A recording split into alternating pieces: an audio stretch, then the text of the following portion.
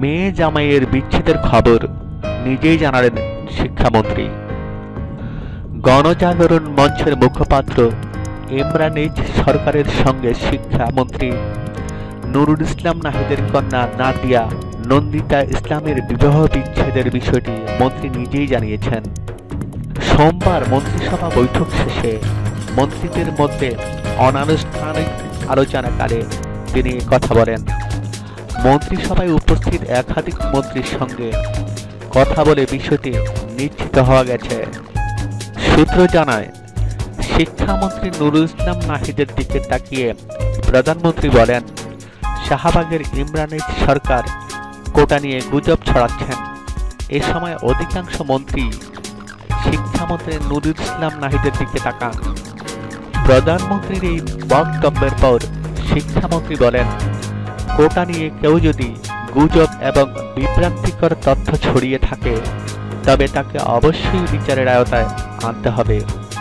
শিক্ষামন্ত্রী অন্যান্য মন্ত্রীদের উদ্দেশ্যে আরও বলেন, ইমরানের সরকারের সঙ্গে আমার পরিবারে বর্তমানে কোনো সম্পর্ক নাই। আমার মেয়ের সঙ্গে তার বিয়ে হয়েছিল, কিন্তু গত তিন মাস আগে তাদের বিবাহ বিচ্ছেদ হয়ে গেছে। ইমরানি সরকার শাহবাগের গণজাগরণ মঞ্চের অন্যতম উদ্যোক্তা, সংগঠক, ব্লগার, অনলাইন অ্যাক্টিভিস্ট অ্যাক্টিভিস্ট, নেটওয়ার্কারের মুখপাত্র। এদিকে ইমরানি সরকারের ভেরিফাইড ফেসবুক অ্যাকাউন্ট পর্যবেক্ষণ করে দেখা গেছে কোটা সংস্কার আন্দোলন নিয়ে শুরু থেকেই তিনি তার নিজের মনোভাব প্রকাশ করে আসছেন। পাশাপাশি আন্দোলনে সাধারণ শিক্ষার্থীদের উপর ভয়াবহ হামলার একাধিক ছবিও প্রকাশ করেছেন। সোমবার তার ফেসবুক অ্যাকাউন্টে লিখেন, আমি এই ছেলেটির নাম দিলাম সাহস। সে এখন বাংলাদেশের সাহস। অন্যায়ের পক্ষে লড়াই করার সাহস। ন্যায্যতার জন্য এখানে সাহসী হতে হয়। সাহসের ছবিটা আমার মতো সবাই নিজের ওয়ালে রেখে দিন। আমাদের সাহসেরা আরও সাহসী হয়ে উঠুক। আরেকটি স্ট্যাটাসে লিখেন, সাবাস রাজশাহী বিশ্ববিদ্যালয়। গোটা সংস্কারের দাবিতে এভাবেই গর্জে উঠুক সারা দেশ। সব বৈষম্যের বিরুদ্ধে যোগ- জেগে উঠুক বাংলাদেশ। তিনি আরও বলেন, আমাদের ভাইয়েরা আজ রক্তাক্ত। ন্যায্য কথা বলতে এসে আজ তারা আক্রান্ত। এই ভয়াবহ নির্যাতনের খবর ছড়িয়ে দিন সবখানে।